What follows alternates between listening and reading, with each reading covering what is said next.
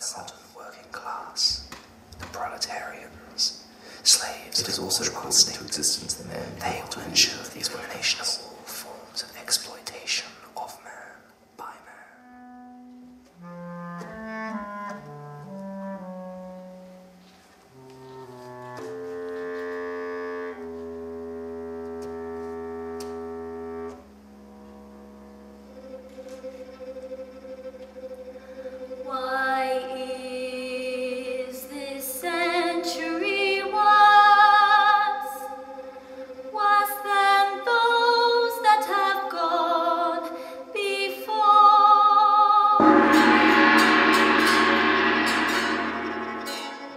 originally came up with the concept, I guess, for this piece way back in 2008. Um, the original intention being to do a 20 year anniversary of the fall of the Berlin Wall in 2009.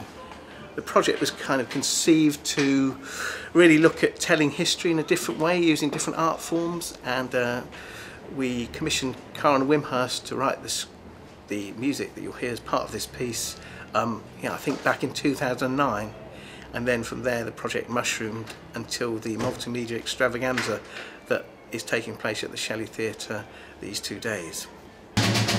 This is our last decisive fight. Trying to describe it is quite difficult because it's not an opera, it's not a musical.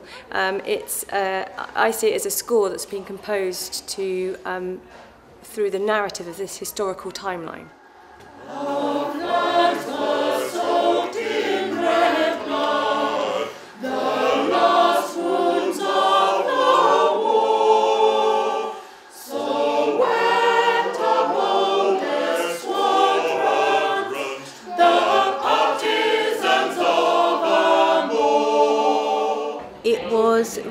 Challenging to concertina such a huge and complicated historical period into an hour and a half.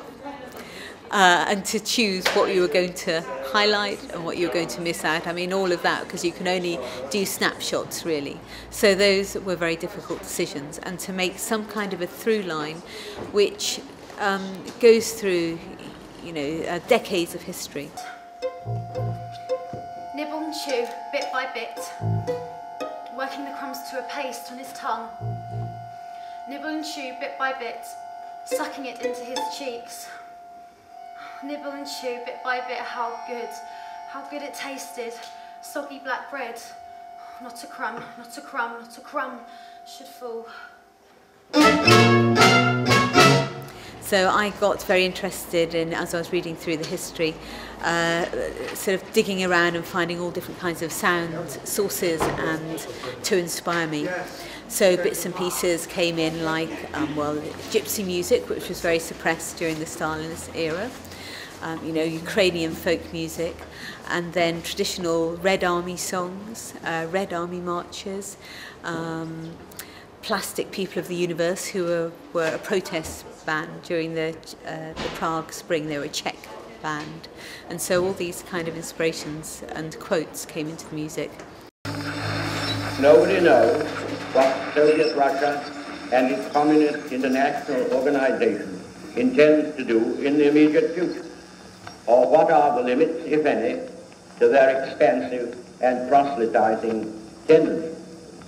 I have a strong admiration and regard for the valiant Russian people and for my wartime comrade, Marshal Stalin. Uh, there is deep sympathy and goodwill in Britain, and I doubt not here also towards the peoples of all the Russia, and a resolve to persevere through many differences and rebuffs in establishing lasting friendships.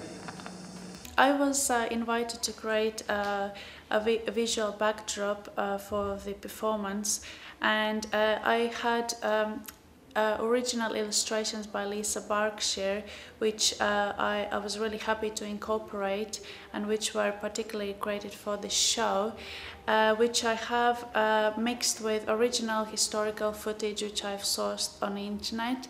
And sort of, yeah, it's been very creative process to blend different mediums such as illustration and film together.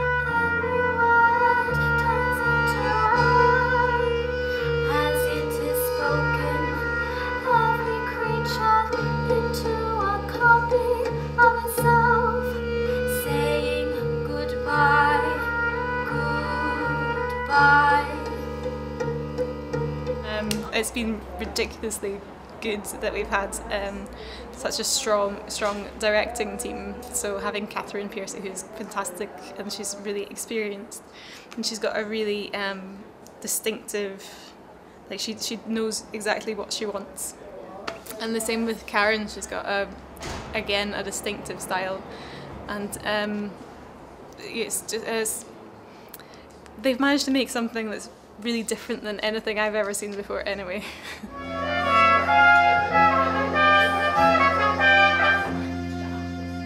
Freedom is merely privilege extended, unless enjoyed